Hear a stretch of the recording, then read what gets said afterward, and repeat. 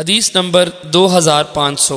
हज़रत इबन अब्बास रदी अल्लाह से मरवी है कि रसूल अकरम सल्लल्लाहु अलैहि वसल्लम फ़तह मक्का के साल रमज़ान शरीफ में सफ़र पर तशरीफ़ ले गए। तो आपने रोज़ा रखा।